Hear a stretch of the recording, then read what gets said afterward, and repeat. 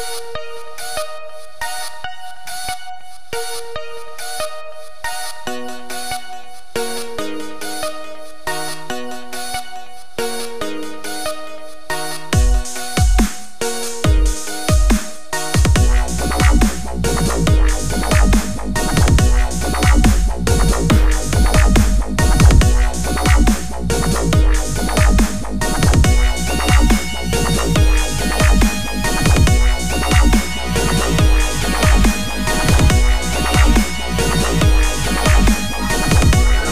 Dirk Strangely.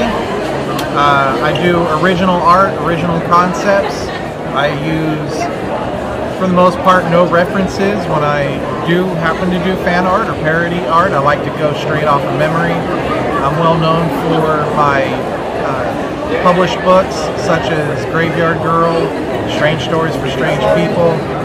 People that like Tim Burton, Dr. Seuss, gothic, whimsical stuff have a tendency to gravitate toward my booth and my art. You can find me on strangelystudios.com, um, Instagram at Dirk underscore strangely, or just look me up on as Dirk Strangely on Facebook and find me there.